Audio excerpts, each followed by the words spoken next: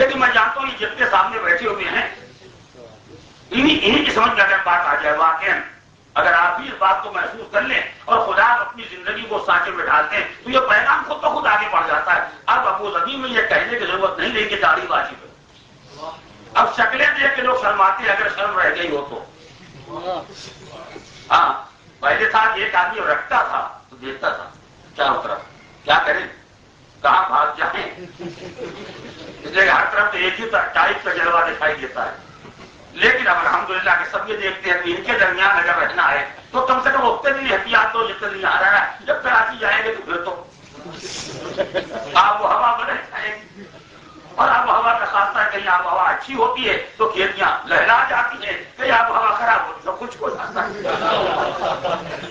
तो फ़िलहाल अगर आप अच्छी आब हवा में है तो आब हवा को बदनाम नहीं आब हवा को बदनाम नहीं यहाँ की आबहवा अलहमदुल्ला बहुत अच्छी है।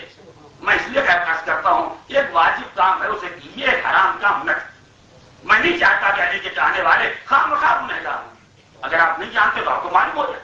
जिसे मसला नहीं मानो उसे मालूम हो जाए। मुझाना उसका हराम है, रखना उसका वाजिब है। आप दिला क्यों अपने सब गुना ले रहे हैं? कौन आपके हुक्म पर कुर्बान हो रहा है? अब तो कोई रखा भी नहीं रहेगी।